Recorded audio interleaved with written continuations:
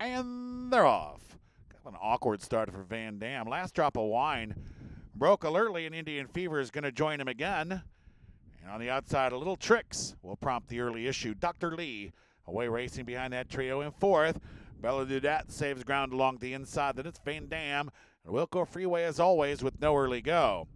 Last drop of wine just in front of Indian Fever. Those two together last time, and they're together again today, with Indian Fever moving up on the outside of Last Drop of Wine. Dr. Lee leads up that chasing trio. That also includes Bella Dudette along the inside and little tricks on the outside. Van Dam is sitting sixth. He's eight lengths off the lead, and it's another eight, nine, or 10 back to Wilco Freeway. That puts him 18 from the front. Nearly 20 lengths back at this juncture, Wilco Freeway. Three and a half furlongs to go. Last drop of wine, Indian Fever. They're still together.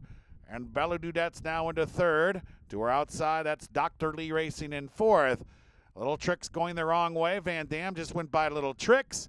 And Wilco Freeway, he's trying to close in from well behind. They race to the quarter pole. So Indian Fever has now opened up on last drop of wine, who can't keep up with Indian Fever.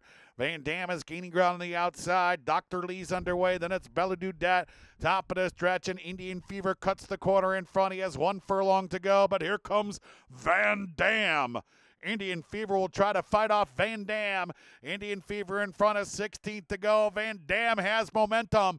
Indian Fever just in front. Indian Fever, Van Dam. Van Dam can't get him. Indian Fever wins. Van Dam was second. Bella Dudette, she was third. And Dr. Lee ran fourth.